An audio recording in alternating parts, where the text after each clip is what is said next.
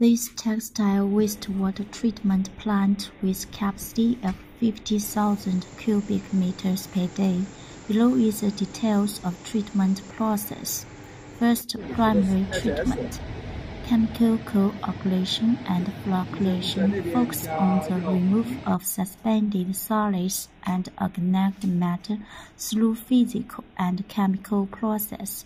Second, biological treatment anaerobic and aerobic treatment to degrade organic matter and remove dissolved pollutants using biological process.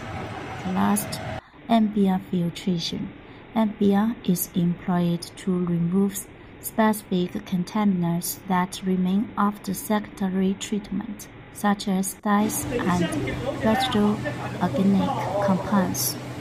The output treated wastewater can be reused for non-potable purposes such oh. as irrigation, cooling, or even in the textile manufacturing process, reducing freshwater consumption.